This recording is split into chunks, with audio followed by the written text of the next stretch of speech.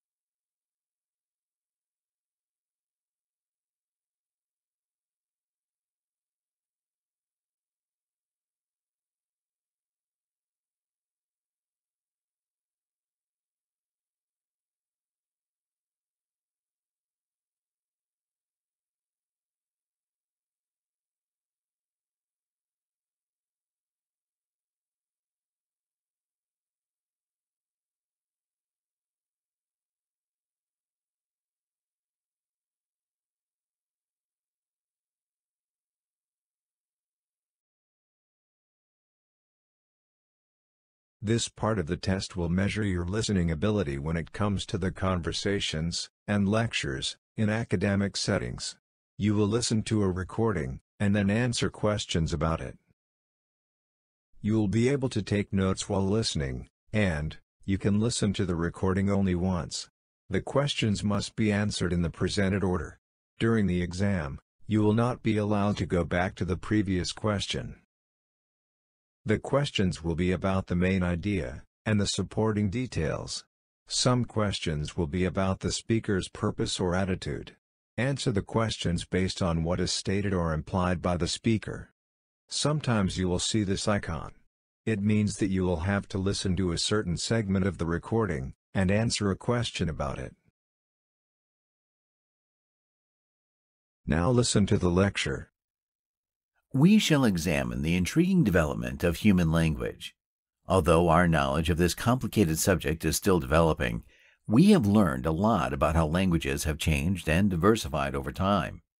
There is ongoing discussion regarding the origins of human language. While some experts contend that speech developed independently of language, others contend that speech developed from gestures. The natural world provides evidence for this argument as certain animals communicate using vocalizations and gestures, indicating that one or both of these communication methods may have contributed to the development of language. The demand for effective communication increased as human cultures expanded. Humans started making more complex tools and participating in intricate social activities around 50,000 years ago, which required the use of increasingly sophisticated language. Our ancestors probably began using abstract symbols during this time, enabling them to communicate feelings, discuss abstract ideas, and tell stories. These ancient tongues served as the forerunners of the contemporary linguistic diversity we now observe. The development of language was further influenced by advances in agriculture. As farming techniques developed, human populations grew more established and regional dialects began to take shape. These dialects subsequently split and developed into separate languages. Physical barriers like mountains and oceans that divided communities from one another frequently sparked this diversity. The development of languages has also been significantly influenced by historical occurrences. Languages were merged and words, grammar, and phonetics were borrowed as a result of massive migrations and trade networks. For instance, despite being a Germanic language, English has incorporated several words from Latin and French. It's obvious that technology is rapidly altering how we communicate in the modern world. Emojis, internet slang, and truncated text are some of the new language phenomena that have emerged in the digital age. We should continue to be interested in language's growth as it adapts and changes in the future.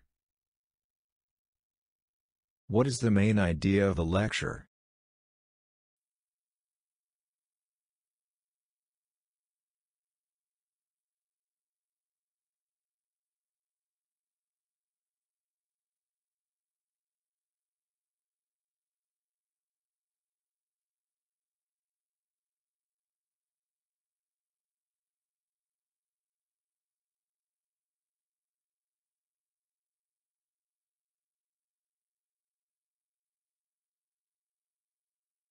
In the lecture, the professor implies that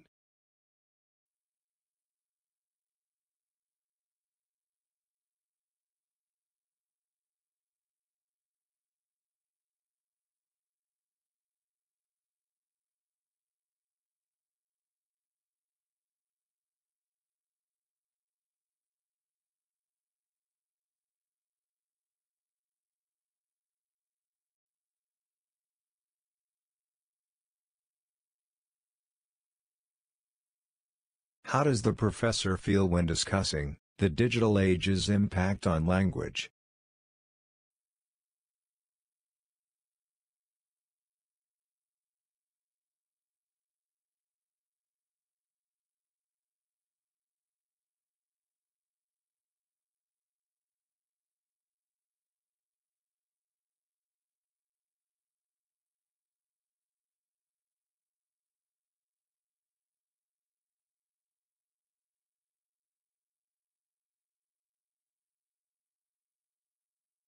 What does the professor mean when this was said? For instance, despite being a Germanic language, English has incorporated several words from Latin and French.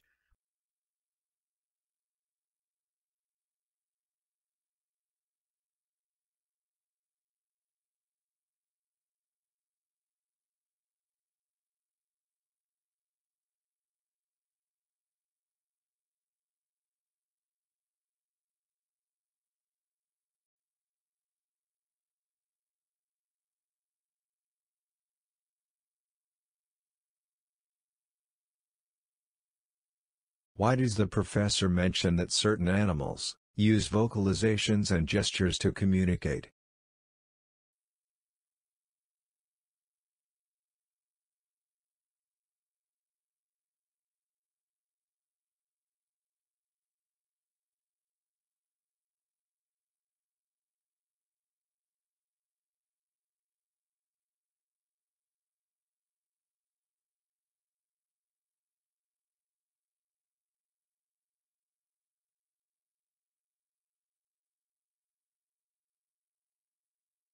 Which of the following elements were discussed as part of the evolution of human language, and which were not?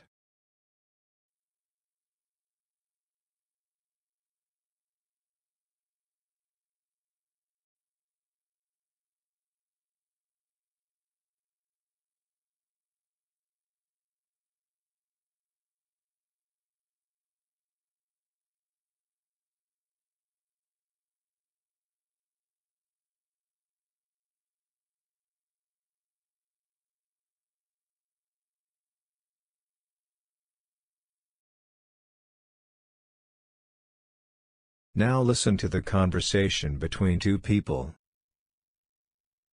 Hi, I'm interested in learning more about the scholarship and financial aid opportunities available at the university. Hello. We have a range of scholarships and financial aid programs for students based on their academic achievements, financial circumstances, and extracurricular activities. That's great news. How can I find out which scholarships and financial aid programs I might be eligible for? First, you should complete the application for student aid to determine your eligibility for federal aid. After that, you can visit our university website to find information about specific scholarships and grants. I understand there's a deadline for submitting it. Could you tell me when it is? The deadline can vary by state, but generally speaking, it's a good idea to submit it as soon as possible after October 1st to increase your chances of receiving aid. There are so many options and requirements to consider. I feel a bit lost. Is there someone I can consult for guidance on choosing the most suitable financial aid package for my situation? Of course. Our financial aid office has counselors who are ready to help students navigate the process and determine the best financial aid package based on their individual needs. What is the main idea of the dialogue?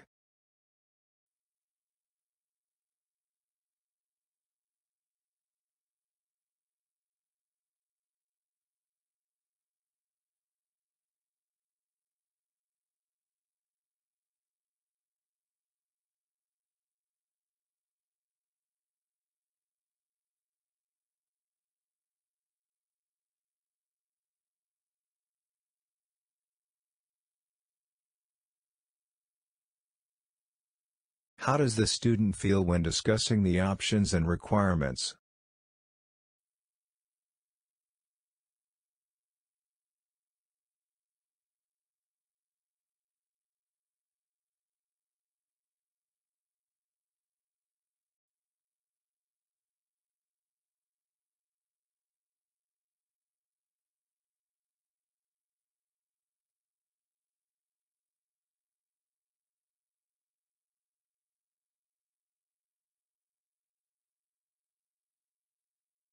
What is the administrator's attitude toward helping the student with their concerns?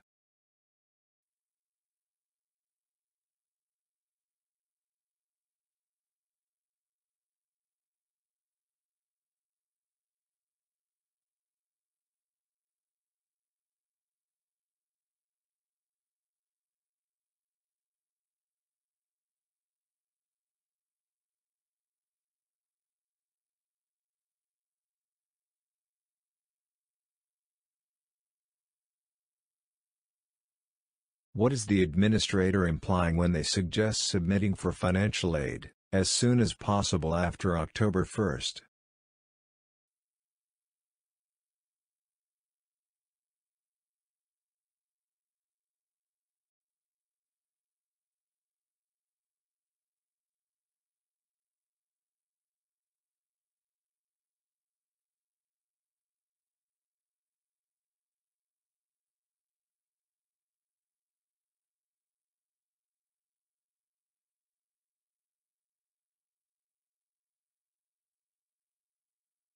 Which resource does the administrator recommend the student to consult for specific scholarships and grants?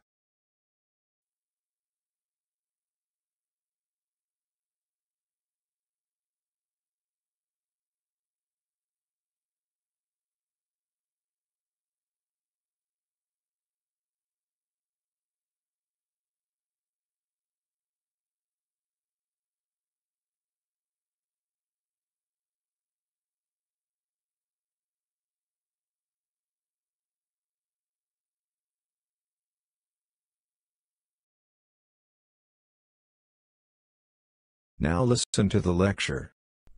Venus has long captivated both scientists and the general public because it is our neighboring planet.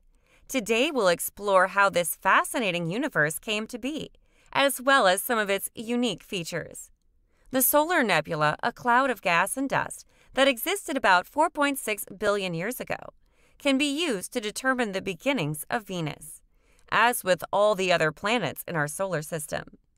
The Sun and the planets that orbit it were formed throughout time from this solar nebula.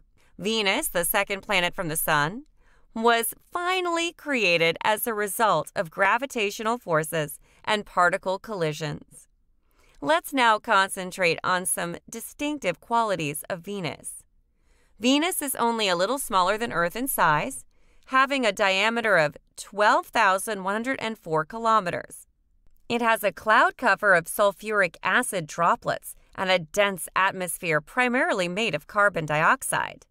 The surface of the planet is mostly flat, made up of volcanic plains with a few mountainous areas and impact craters strewn around.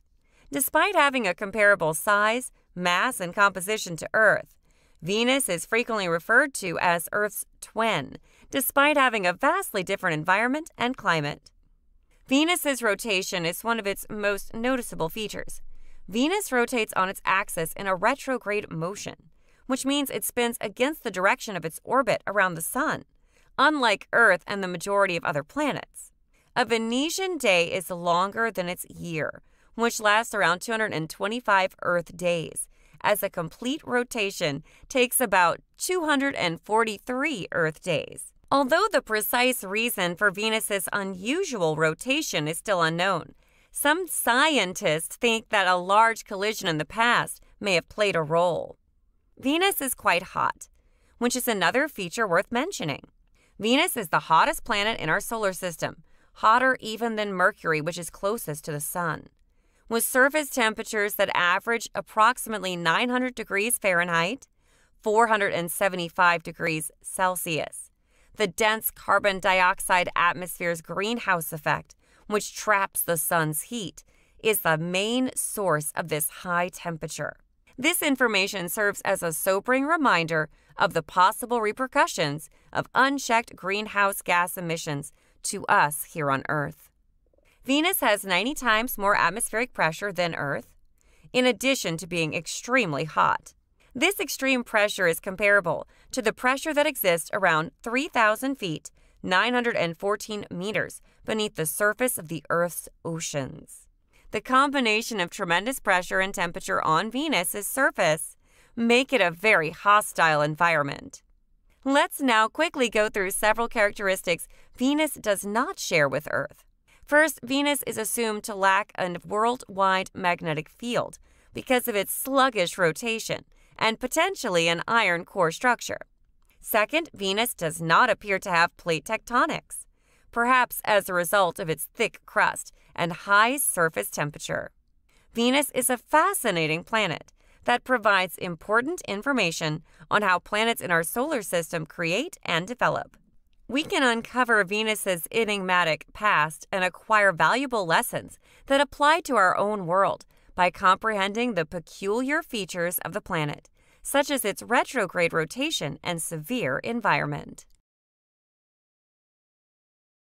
What is the main idea of the lecture?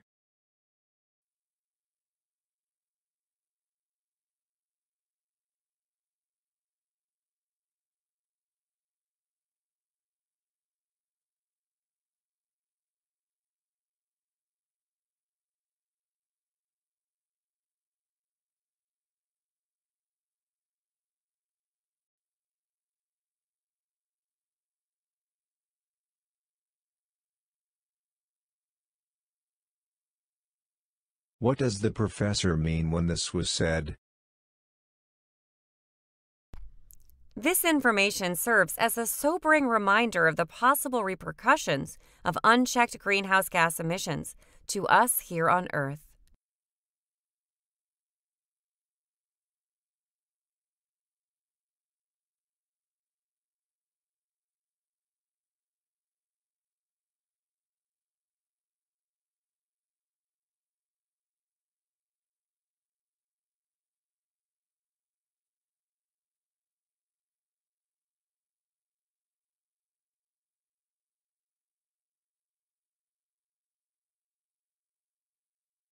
Why does the professor mention that Venus has no global magnetic field and no evidence of plate tectonics?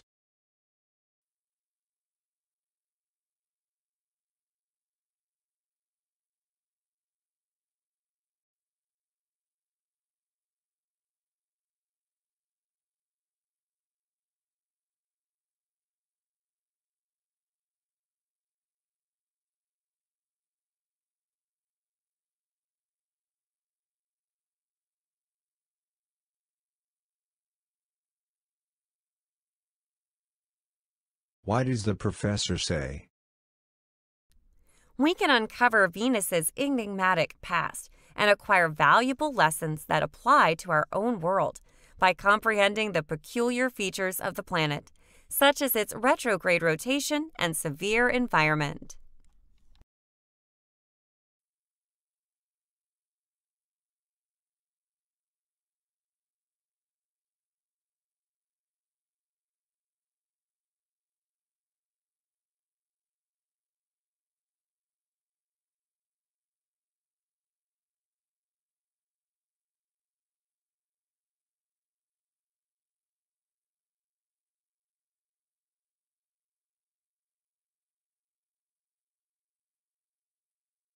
Which of the following are characteristics of Venus?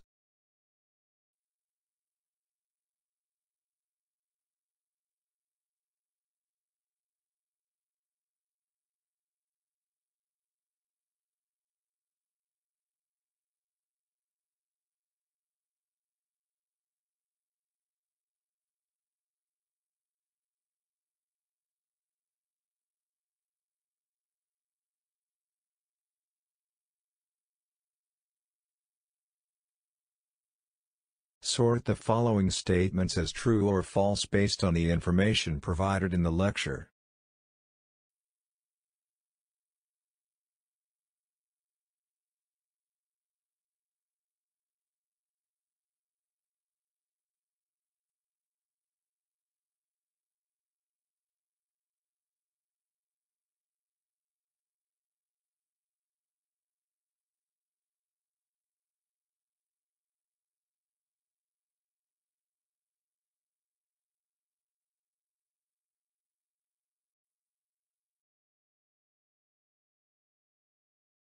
Now listen to the conversation between two people.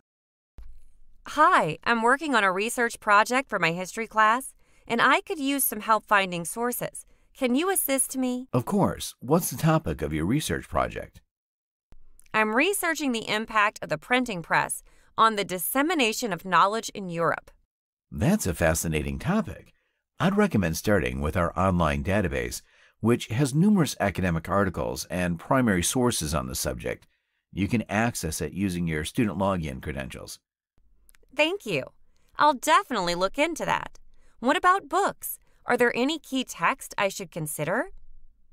Yes, there are several books on the topic in our library.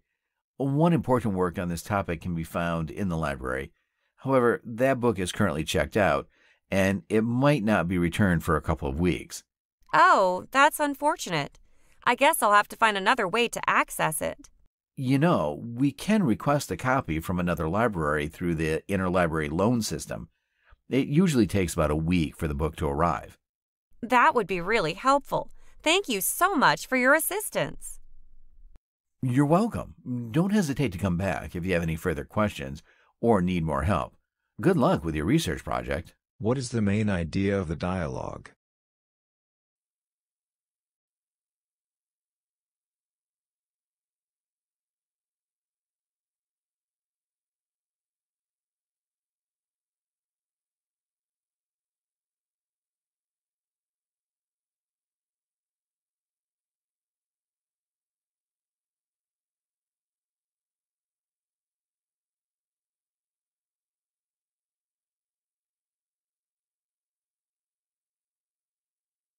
What does the librarian imply about the book she mentioned?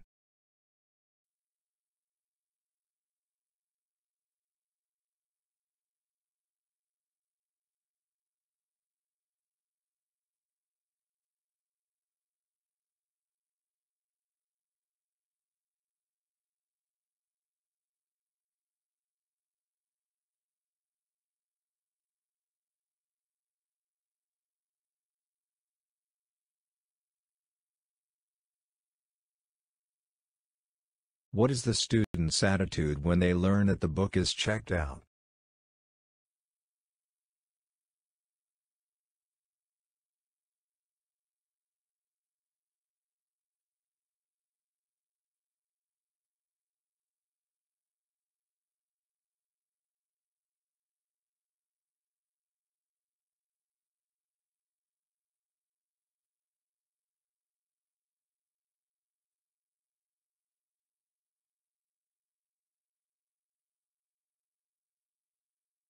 How does the librarian help the student to access the book?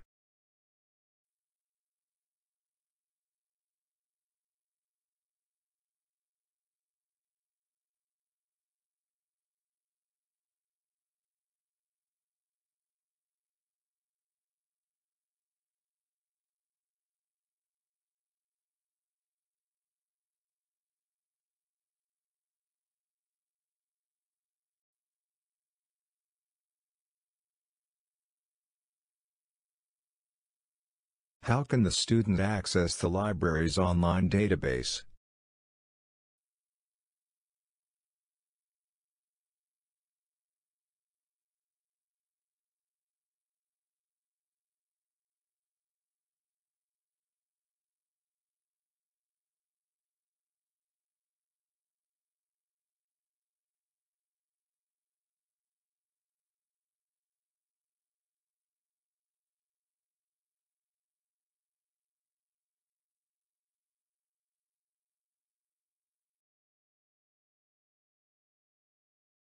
Now listen to the lecture. The study of manipulating and controlling matter at the atomic and molecular levels is known as nanotechnology. Approximately 100,000 times thinner than a human hair, it works with substances smaller than 100 nanometers in size. The potential applications of nanotechnology are limitless and may completely alter how we tackle problems in a variety of fields, the use of nanotechnology in medicine is among its most well-known applications. New materials for regenerative medicine are also being created using nanotechnology, including scaffolds for tissue engineering and wound healing. These developments are anticipated to significantly affect how diseases are treated and the standard of healthcare as a whole. Nanotechnology is enabling the development of more compact, potent electrical devices. Computers, cell phones, and other electronic devices have significantly improved as a result of the development of faster and more energy efficient CPUs made possible by the shrinking of transistors. In addition, researchers are studying novel nanomaterials like graphene for their special qualities, which may provide cutting edge and highly effective electronic components. Moving on to the environment, nanotechnology has the capacity to offer practical answers to a number of environmental problems. For instance, the use of nanomaterials in water purification systems can aid in the removal of impurities and guarantee that everyone in the globe has access to clean water. Nanotechnology based solar cell research may also considerably increase the production of renewable energy and contribute to the fight against climate change. However, there are difficulties and worries with nanotechnology, just like with any newly developed technology. The possibility of unanticipated environmental and health effects from the discharge of nanoparticles into the environment is the main cause for concern. It is essential to research these potential concerns and find appropriate policies and responsible innovation to handle them. It is our duty as researchers and innovators to make sure that nanotechnology is developed in a sustainable and safe manner. I personally can't wait to witness the amazing breakthroughs that this industry will produce in the years to come. What is the main idea of the lecture?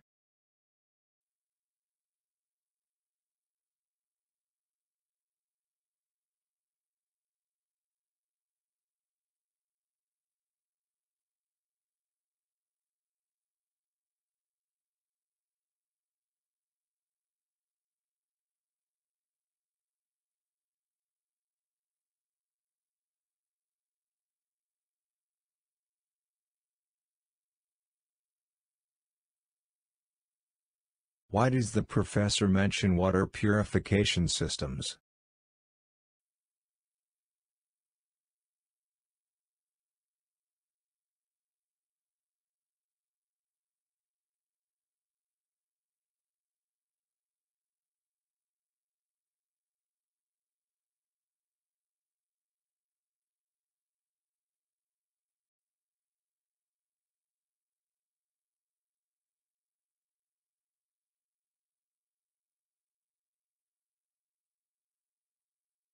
How does the professor feel about the future of nanotechnology?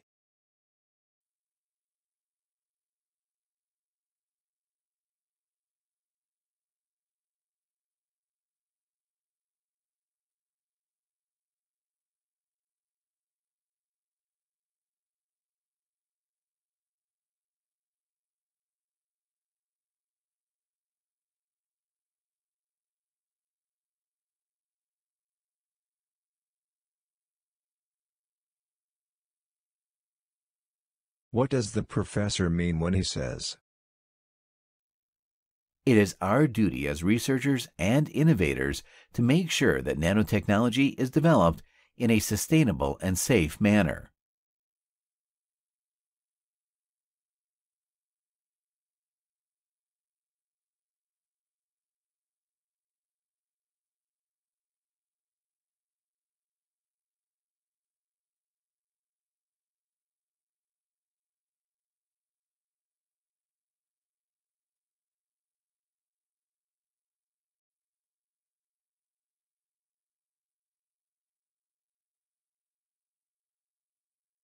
Why does the professor talk about the miniaturization of transistors?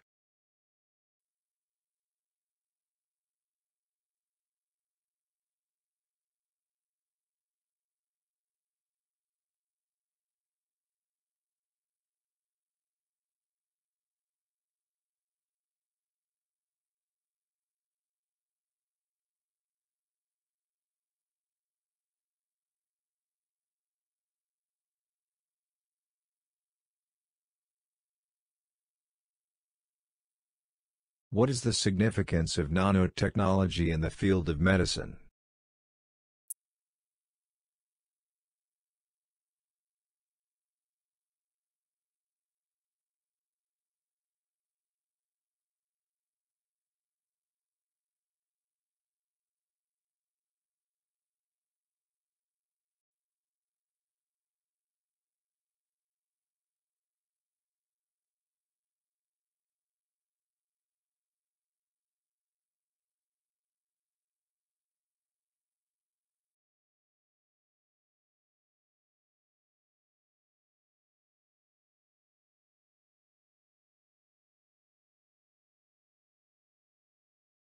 This part of the test will measure your speaking ability. It will last around 20 to 30 minutes. You will answer four questions. The first question will be about a familiar topic.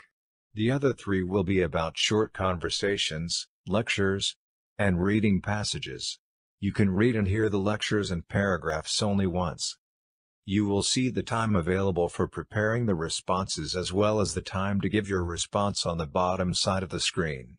You have to stay within those time limits. Speaking Task 1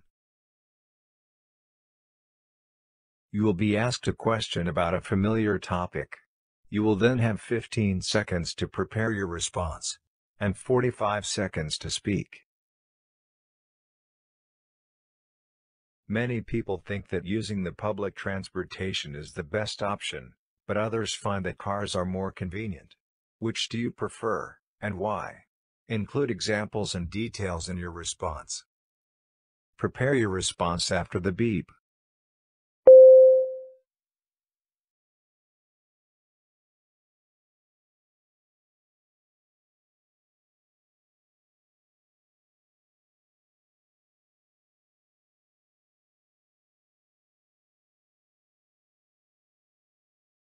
Start speaking after the beep.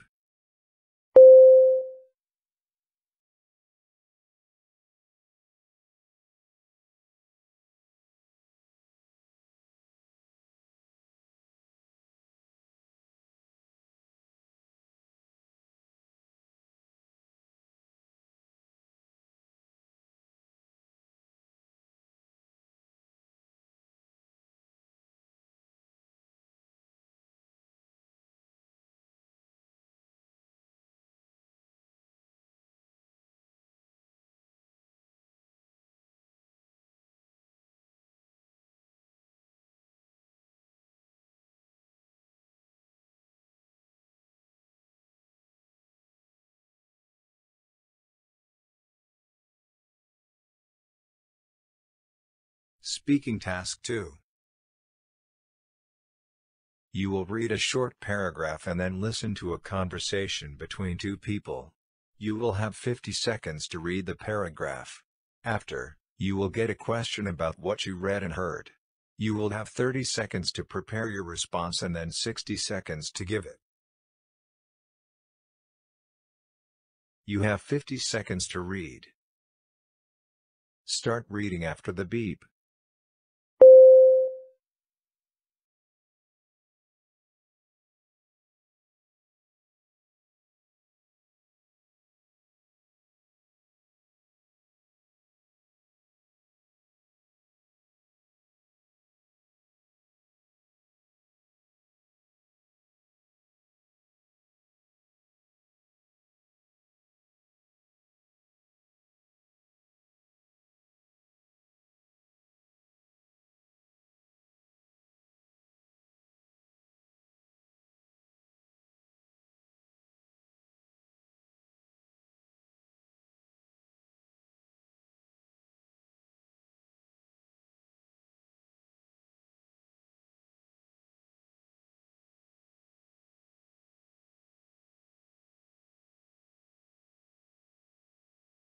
Now listen to the conversation between two people.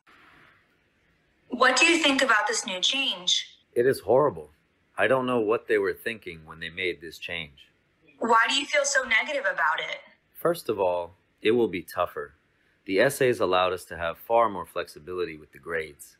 I mean, it is much easier to get more points on the essays rather than on the exam. It was also easier to get extra credit that way. Now, with this change, that is no longer a possibility. Yeah, I guess you are right. But don't you think it will give you more time? That now we only need to focus on the tests? You mean now we get to be stressed about the tests? Like I said, you had more options before. Now that we know it's all about the tests, we will be anxious about it. Okay, but still, the tests can't be that bad. They can be difficult, the professor likes to put a lot of difficult questions. You really need to learn every detail from the textbook to know that you will get a good grade. I didn't know that. I also take issue with what they said about the essays being useless. That is simply not true. We get a lot from essays and presentations. If you really want to get deep into a specific subject, they are the best way to go. You really get to the core that way, and it makes the students invested when you make them research and present something. If there are so many positives to the old way, why change this now? I think it's pure laziness. The professor doesn't want to waste time with grading the essays. It is much easier to just grade the exams, so there will not be that much work. What does the male student think about the new grading system? Include the details he mentions. Prepare your response after the beep.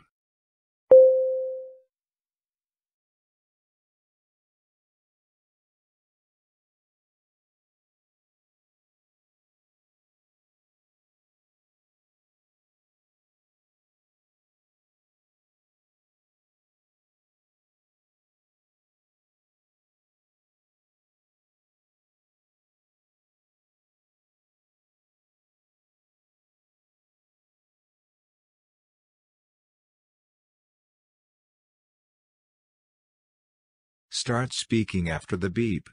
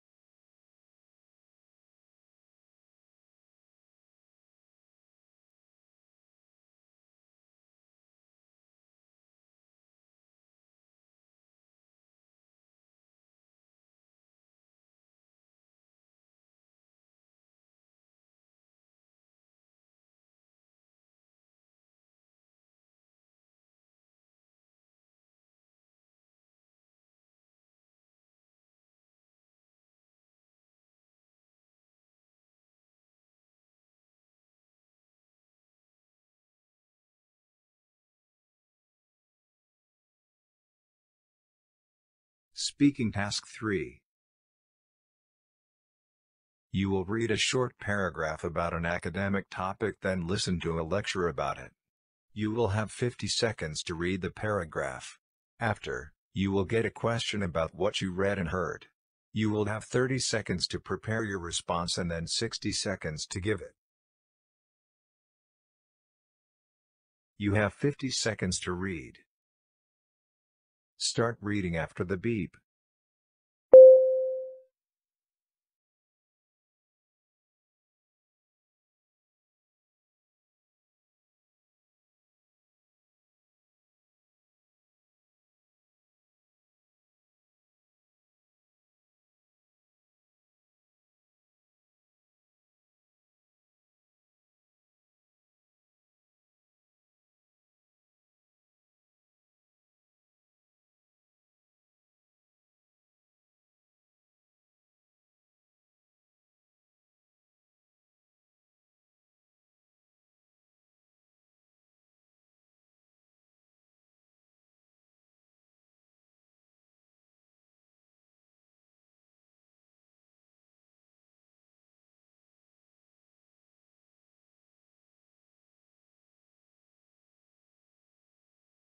Now listen to the lecture. When they say that a species is adapting, we mean that it is changing its behavior, body, or both. There is a plethora of species currently living on Earth, and they can be found in all corners of this blue planet. The animal and plant adaptations depend completely on the type of environment they are found in. The Earth has many natural habitats that are spread across large surfaces. We can distinguish three types of adaptations. Number one, the structural adaptations. Basically, here we are talking about the skin, color, and shape of the organism. These adaptations help it survive in its habitat. The beak of a woodpecker is a good example.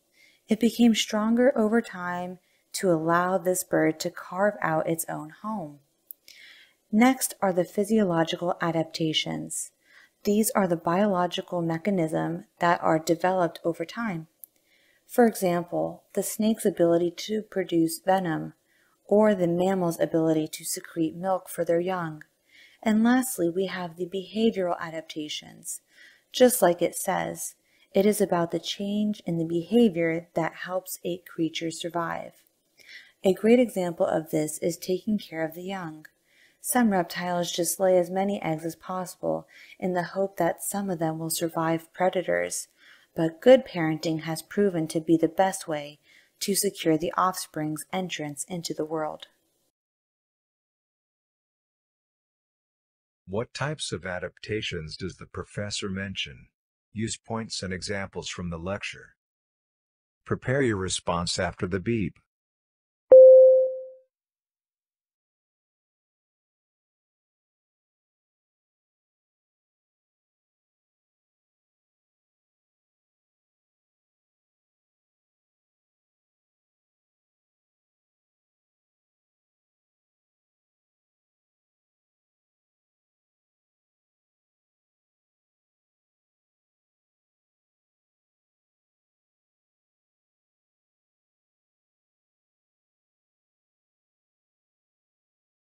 Start speaking after the beep.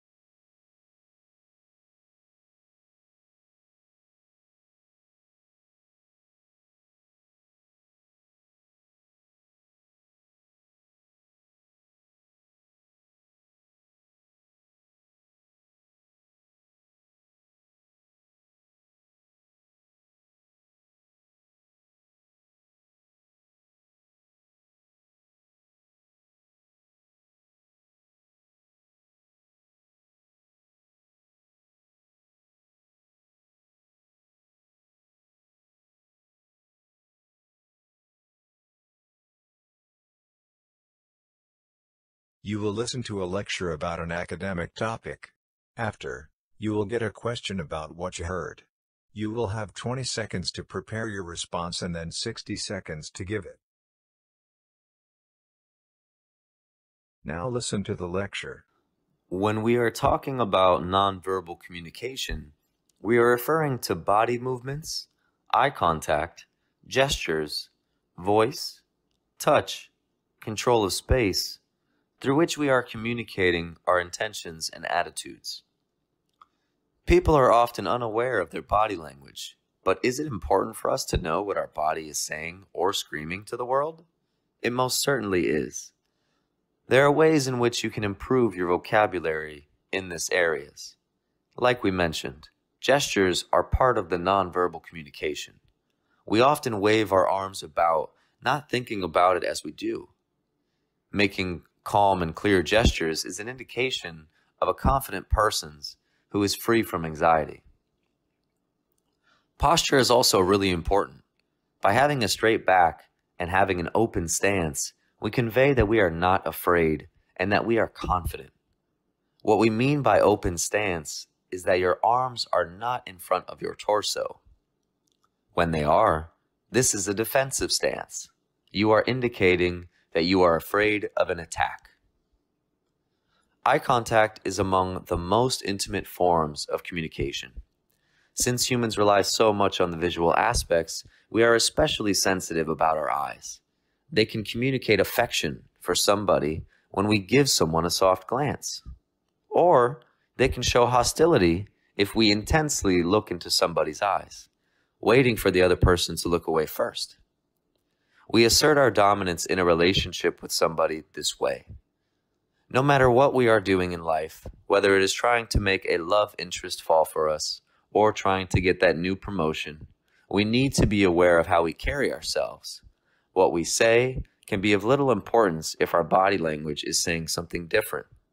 The amount of success we get in life can be greatly determined by this. What does the professor say about nonverbal communication, and in which ways do we do it? Include points and examples from the lecture.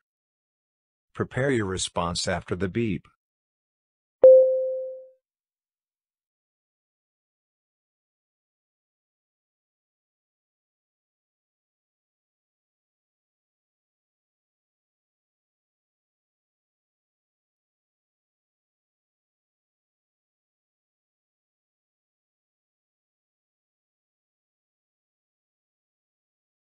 Start speaking after the beep.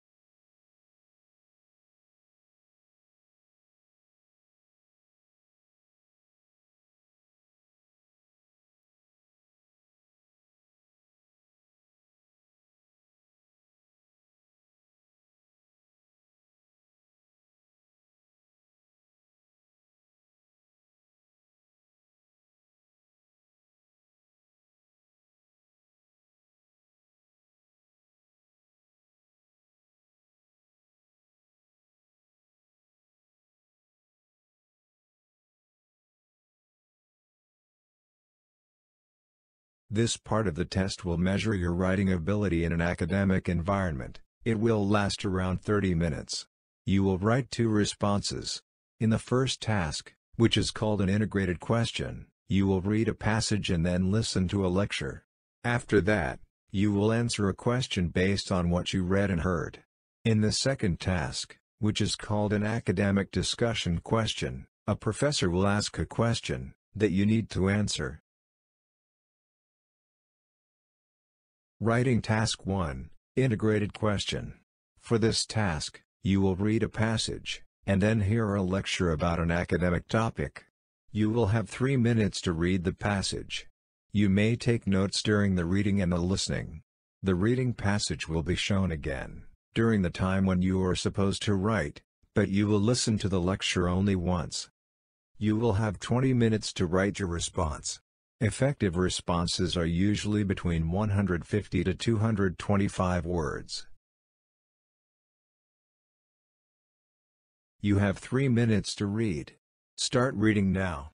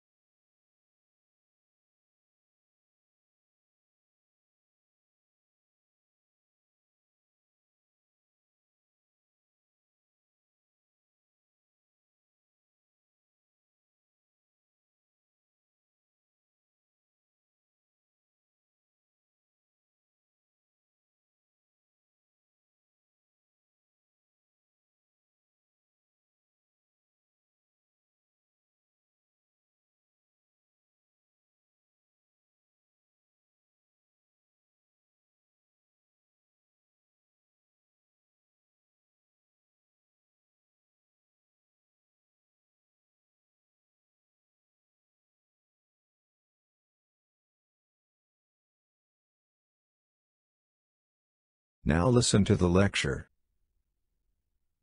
Firstly, while many celebrate the technological advancements in renewable energy as a harbinger of the green revolution, one must also take into consideration the fact that these advancements have plateaued in recent years. Technological improvements have been slower than expected, especially for solar and wind energy. The rate of increase in efficiency for photovoltaic cells and wind turbines has not been as dramatic as predicted. Moreover, larger wind turbines have brought about additional challenges such as increased noise pollution and adverse effects on bird populations, undermining their perceived environmental friendliness. Secondly, regarding governmental policies and market integration, one might argue that the current incentives are not robust enough to facilitate a wholesale shift towards renewables. Governmental policies across the globe are inconsistent, with some countries still heavily reliant on fossil fuels for economic reasons. Additionally, the market mechanisms currently in place, such as feed in tariffs and green certificates, have proven to be insufficient for the extensive integration of renewable energy into existing grids. The market integration of renewable energy remains an economic challenge that requires more comprehensive solutions. Lastly, the issue of energy storage is a significant hurdle for the renewable energy sector. While there have been advancements in battery technology, the practical implementation of these technologies on a large scale remains far off. Efficient storage solutions for renewable energy are still expensive and resource intensive. Additionally, the materials needed for these storage systems, like lithium and cobalt, are finite and can cause environmental issues of their own.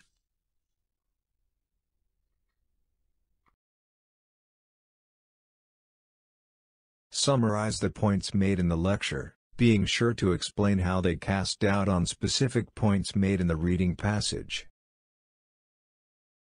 You have 20 minutes to write. Start writing now.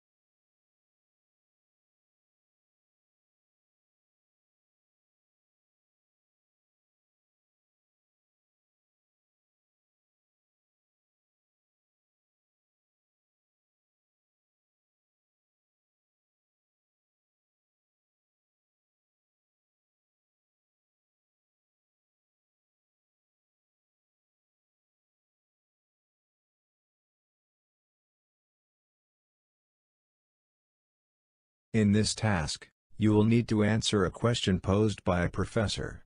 You will also be able to see how two other students answered it. You will have 10 minutes to write your response. Effective responses will have at least 100 words.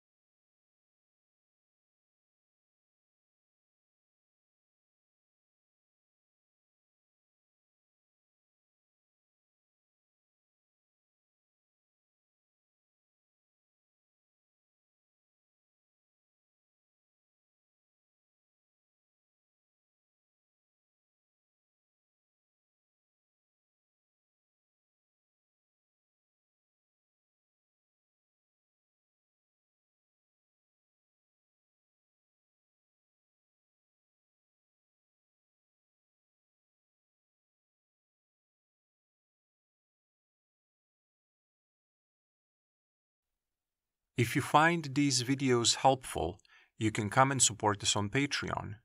You can gain access to ad free content as well as more tests. Your support is appreciated.